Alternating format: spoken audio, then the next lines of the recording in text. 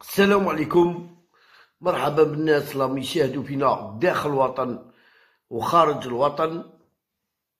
الناس اللي معنا نقول لكم مرحبا بكم في قناة شوبير ديزاد اليوم الحصة تاعنا وين غادي نتكلموا على وليد الركراكي ونقل باللي إقامة كأس العالم في قطر فرصة للمغرب للنجاح. الناس على بغينا نتأهلوا حنايا. على بغينا نتأهلوا علاه. نقول لكم على بغينا نتأهلوا؟ شحال كاين من دولة عربية. كاين تونس المغرب السعودية قطر.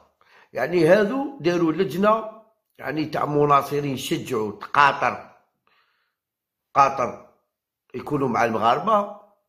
مي تلعب المغرب قطر تونس السعودية والمغاربة يكونوا في رحبة. من بعد تونس تلعب توانسة المغرب قطر السعودية يكونوا كاع في رحبة. يعني حنا كون وحنا كون وحنا كانت حاجة مليحة.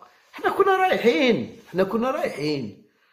حنا كنا رايحين الرب العالي أنا مين تفكر كنا رايحين ومن بعد يجي يقول لك كاساما حقرني. كاساما وين حقرك؟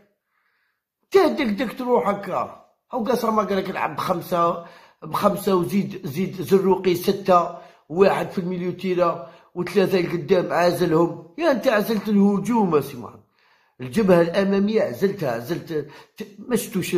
علاه بالنا سليماني يخدم علاه. سليماني ولا يعاود يولي يخدم ويعاود يطلع. إيه؟ أي. مي كاين ناس ما بغاوش يتفهموا كورت ما بغاوش يعرفوا ما ما بغاوش علاه ما بغاوش يهضروا على التاكتيك قول لهم واحد كاش واحد هضر على التاكتيك دو جو قولوا لهم قولوا لهم كاش واحد. ما كاش. دخلوا عليه غير قصامه قصامه قصامه هذا ما كان. وإن يعتقد وليد الركراكي مدير الفني المنتخب المغربي لكرة القدم أن أسود الأطلس محظوظين يعني بمشاركتهم في نهائيات كأس العالم على أرض عربية ما سيجعلهم يلعبون مباريات مونديال على الملعب الملاعب القطرية وكأنهم في بلدهم وذلك سيساعدهم كثيرا على تقديم أداء أفضل. وخاصة أمام الجماهير العربية. وأوقعت القرعة المنتخب العربي في المجموعة السادسة بجانب كرواتيا كندا وبلجيكا. ويبدأ الأسود الأطلس مشوارهم بملاقاة كرواتيا ثم بلجيكا ويختتمون مباراتهم في الدور المجموعة ضد كندا وتكون الفرحة إن شاء الله. وقال الركراكي في حوار أجرته معه قناة كانابليس الفرنسية على هامش جولته الأخيرة في أوروبا. إن نجح المغرب في مشاركته بمونديال قطر مرهون بعبور الدور المجموعات بعيد عن خطابات أداء المشرف قال لك ما خاصناش نروحوا نلعبوا برومي تور ويقول لك قدمنا أداء مشرف. لا. لازم. قال لك الإنجاز هو المرور للدور الثاني. خاطر المغرب راهي من 86 ما فاتتش للدور الثاني. وتبع بقوله لا يجب أن نكذب على أنفسنا كأس العالم ناجحة بالنسبة لنا في قدرتنا في التأهل إلى الدور. الثاني يجب أن نتحلى بخطاب متفائل وهذا لا يعني أنه في حال تقديمنا كل ما لدينا وفشلنا في التأهل أننا لن نكون سعداء. المهم يجب أن نبذل قصرى جهودنا من أجل تحقيق التأهل. وأكد المدرب المنتخب المغربي العربي أن الأخير سيشعر في قطر بأنه يلعب بميدانه وهو ما اعتبره عامل مهم سيساعده كثيرا في مهمته لأن الجماهير المغربية والعربية متوقعة حضورها بكثافة للمباريات المجموعة السادسة. سيكون خير سند والدعم للاعبين لا سيما أن مشجعين المنتخب المغرب معروفين بحماسهم كبيرا وطريقتهم المتميزة في التشجيع. والله صح كاين شو كاين الجزائر كاين المغرب. والمغاربة تروازيام أه، توانسة. وأكمل الامتياز الجماهيري الذين لن يحصل عليه منافسون سيكون في صالحنا. وأجد هذه التجربة مع الوداد الرياضي في الدور أبطال إفريقيا. وأعرف أن اللعاب رقم 12 مهم جدا بالنسبة للمنتخب المنتخب المغربي ما يجعل من احتضان بلد عربي لمونديال أمر مهم جدا بالنسبة لنا وسيعطينا الدافع للتحقيق للمفاجأة من أجل كل مشجعين العرب الذين سيقفون خلفنا. وتبع ذكراكي مونديال 2020 سيكون فرصة ذهبية لنا. خاصة أننا نمتلك فريق يمكنه أن يتسبب في مشاكل أي منتخب في العالم لكننا نحترم منافسينا جميعا وأتمنى ألا يحترموننا كثيرا حتى نفاجئهم. إن شاء الله بربي ماذا بنا علاش لا؟ يعني ماذا بنا الله يجعل يدخلوا حاقرينكم وديروا لهم قلبازة واحدة قليبزة قليبزة قليبزة قرب قرب قرب ثلاث حبات. وشدد الركراكي على أنه ليس الغريب أن داخل ليس أنه أول داخل على المنتخب المغربي مذكر بأنه لعب له في أكثر من 40 مباراة دولية وعمل مساعد لمدير الفني المنتخب المغربي وقت يعني في وقت سابق. ما يجعل علاقته بالمنتخب المغربي ممتدة منذ سنوات طويلة وتبع لم أكن أظن أن الاتحاد المغربي سيقيل البوسني بايد قبل مونديال قطر.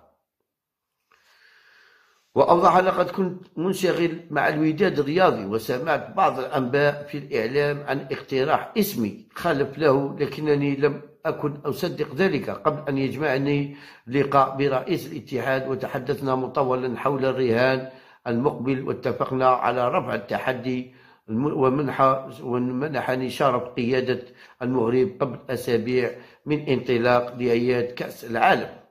وأشار المدرب الشاب إلى أن أول ما يمكنه أن يجليه يجلبه للمنتخب المغربي هو الروح الوطنية باعتبار اللعاب يعني وين لعاب سابق ويعرف ذهنية اللاعبين المغاربة وحاجتهم ويعرف أيضا طموح الشعب المغربي تجاه المنتخب بلاده. يعني وقال الركراكي في هذا الصدد أول ما يمكنني تقديمه مقارنة بالمرحلة الماضية هي الروح الجرينتا.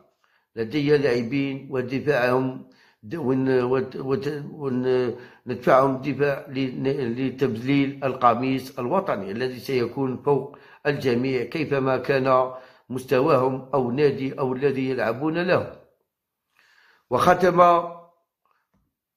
أنا أراهن كثيرا على الجانب الروح المعنوية المرتفعة داخل صفوف المنتخب من أجل تحقيق المفاجأة لأننا نمتلك مواهب وفنيات ويجب استغلالها في إلى أقصى حد ممكن.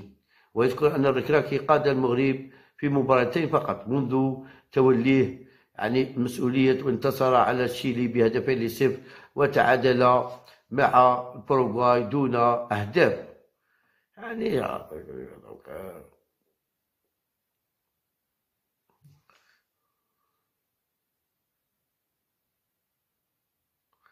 دروك حنايا دروك نقولوا باللي المنتخب ال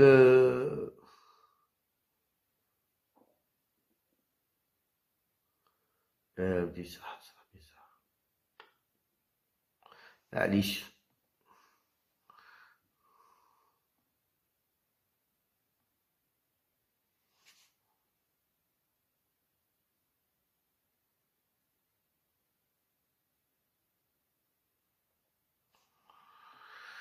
المهم دروك نتمناو حاجة برك أنايا حاجة اللي راني مراهن عليها وهي الذهاب المنتخب المغربي إلى أبعد نقطة ممكنة. هذه هي باش يكون على بالكم. منتخب وطني منتخب وطني ما تأهلش. غادي نشجع المنتخب المغربي بكل قوة. غالب. التالي خويا. واحد ما يكذبش على روحه. تعلمنا ما نكذبوش. في أنايا في الخافع نقول تحية للمغرب ما يجعل تربح. وقدامك نقول لك لا أنا كره ما كان. أنا بولا أخويا أنا مريض بالمهبول بالبولا. أنا مازال اليوم مازال مازال ما ما يقري أمن باللي أقصينا بصح.